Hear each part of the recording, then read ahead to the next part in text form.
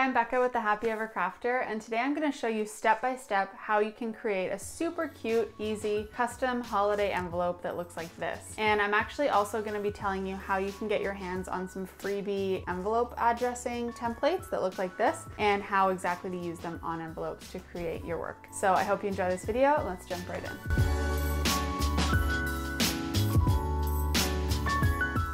First things first, let's go over the tools I'll be using in this video. I have a craft paper envelope here. I just like the way that the colors turn out on this color of paper, but if you only have white envelopes or another color, that's totally fine too. Then I have a Posca paint pen. This is what I'm gonna use for some detailing, and I find it's kind of the brightest white option. If you don't have a Posca pen, you can also use a Uniball Signo gel pen. Both of these are really great, but I'm gonna be using this Posca. And this one is the size 0 0.7 millimeters. And so if you look at the tip, it's bullet shaped. They make this in a bullet shape and a pin shape. So if you have the choice and you can, I always recommend the bullet shape. I just find it works a little bit better. Then I'm gonna be using a Tombow Fudenosuke brush pen. It doesn't have to be the Tombow brush pen, but any brush pen since we're gonna be doing calligraphy on this envelope. So this is just a small tip black brush pen. Then I'll be using a light blue Tombow dual tip brush pen. Same thing with this one. It doesn't have to be Tombow brand and this one actually doesn't really even have to be a brush pen. This is just gonna be for some decorations. As long as it's a light blue-ish color and you can use it on your envelope, then it'll be totally fine. I have a Micron pen. This is size one. It's pretty small on the tip. Same thing, it doesn't have to be this Micron pen. It can be any fine liner black pen.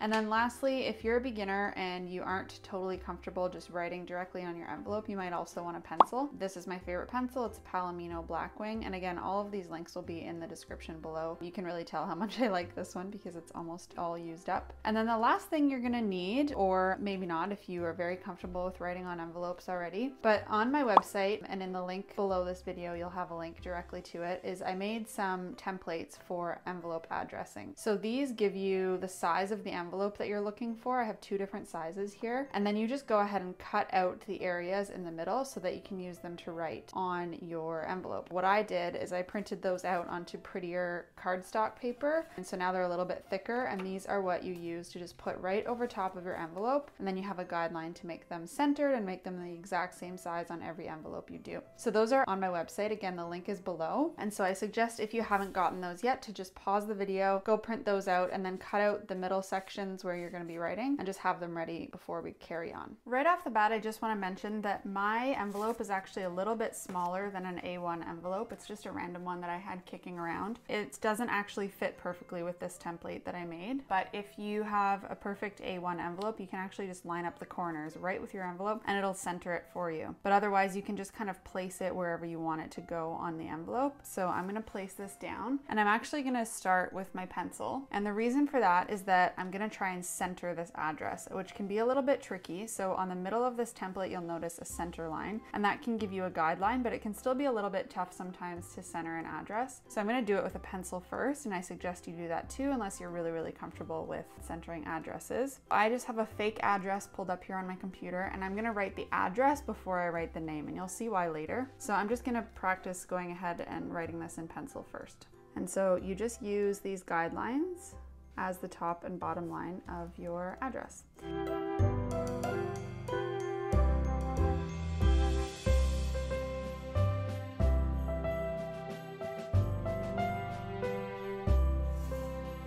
So I've got my address written out. I'm gonna now take my Micron pen in size one and just go over those letters.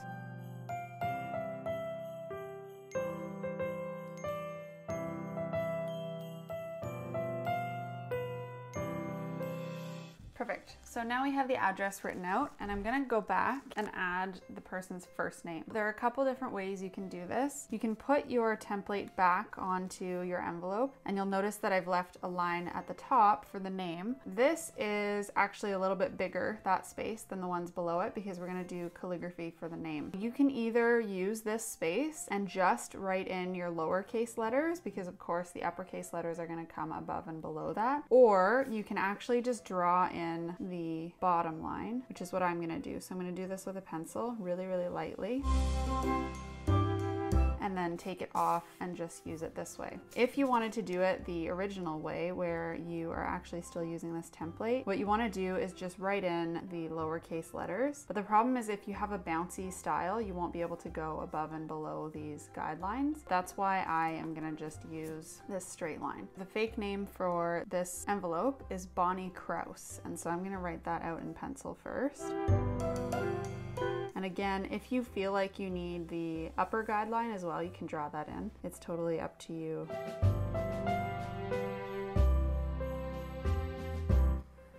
Now I've noticed that that is still not perfectly centered. So I'm actually gonna erase that again. It's up to you. If you're not a perfectionist, you don't necessarily have to do this, or you could even add a flourish on this side and make it a little bit longer. I'm going to erase only the first name and move it over a little bit. We go. So now I've got my address written out and my name in pencil, and I'm gonna take my Tombow brush pen and write that out in the brush pen.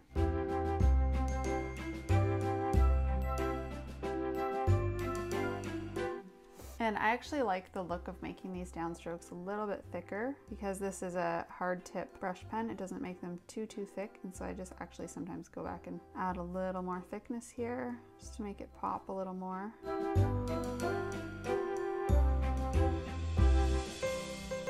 So we've got the whole address written out. Now I'm gonna show you a couple different ways you can stylize this envelope to be a little more Christmassy. First thing I'm gonna do is grab my blue Tombow marker or whatever marker you're using and draw some different sized circles. You want them to be randomly placed. The more random, the better it's gonna look. And you don't need to do too, too many. But another thing to keep in mind is that generally uneven numbers work best. So I have 1, 2, 3, 4, 5, 6, 7, 8, 9, 10, 11, 12. Maybe I'll add one more. I'm gonna leave those for now and I know they look very faint, but that is the point. Then I'm gonna take my Micron pen again and I'm gonna just write please deliver to up here, which I like on Christmas envelopes. I just think it makes a little, a little bit more festive. I'll do it in my pencil first so that it's semi-centered. And you could use your template if you wanted to, but I'm trying to make this a little faster. I'll go over it as always with my Micron pen.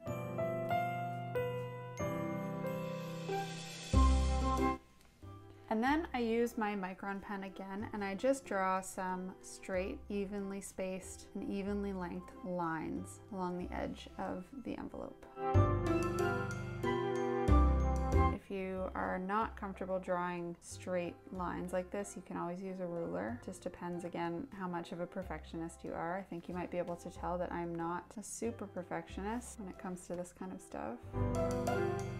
So now you have a little outline. The last thing I'm gonna do is take my white Posca marker and draw in some snowflakes. So on top of these blue circles, now we're gonna draw snowflakes. You start by drawing an X and then you're gonna draw another X through that one just add some little snowflake details. Sometimes when they're really tiny, it's really hard to add details, so you just want to add little tiny ones. And you don't always have to do an X and an X, it doesn't have to be that many lines. Sometimes you can just do a bigger X and then one line through it. Makes it a little more clean. And you can add as much or as little detail to these snowflakes as you want to. There are a million different ways you can draw snowflakes, and of course, technically they should all be different. It really depends how much time you want to devote to doing that. So the blue is very subtle behind each snowflake, but it's just enough to make the white pop a little more and give it a little bit more detail than just drawing these white details onto the page. Generally, I actually like to add a little bit of white detailing to the calligraphy lettering as well. I'm just gonna add some outlines on the outside of these letters. And again, that just kind of makes it pop a little more. And then once all of this is dry, the last step is just to go and gently erase your pencil lines. Usually an eraser that's not on the back of a pencil would work a little better. I just don't have one handy right now. And there you have it, a custom, super simple doodly holiday envelope. So hopefully you guys find that helpful and I would love to see it if you try it. So make sure to tag me on Instagram or leave a comment below if you enjoyed this video and I'll talk to you later.